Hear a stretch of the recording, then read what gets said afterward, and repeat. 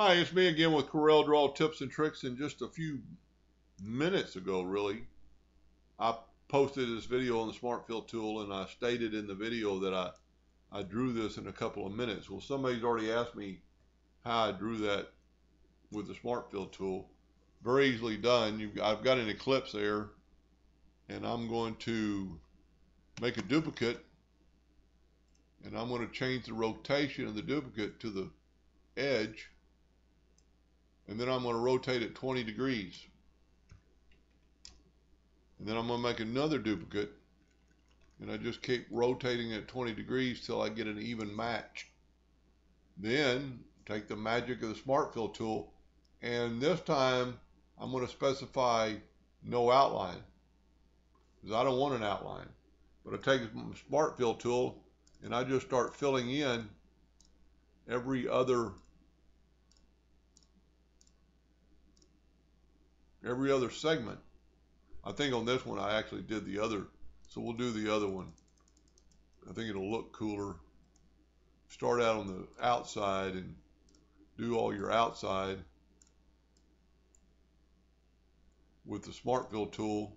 And the reason I'm using this outside one because it's it's I don't know if there's such a word as more rounder, but it's a rounder shape than if you use the other one. And this takes just a little bit of time, but then you're going to go and do the opposite ones. You know, so it'll, they'll kind of meet in the middle. And the good thing about it, if you make a mistake, all you have to do is hit the undo tool and undo it. So now we're going to bring in this one. And um,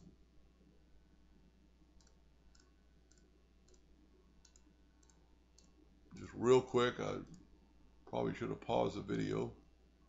Then you're going to do this one.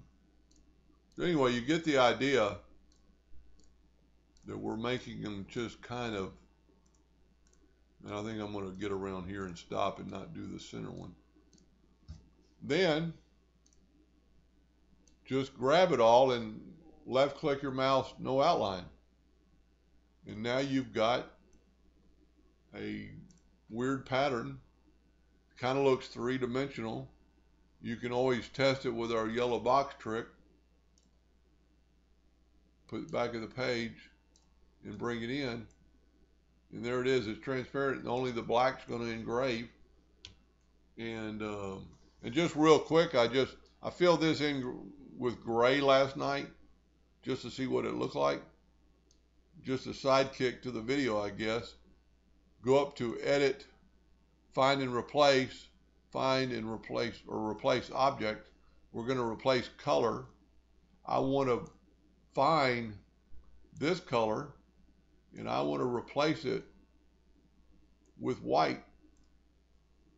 Hit finish. Find all, replace all, and real quickly, Corel Draw is actually going through there and changing all my black all my gray spots to white. Now, with that said, I filled them in with gray or with white.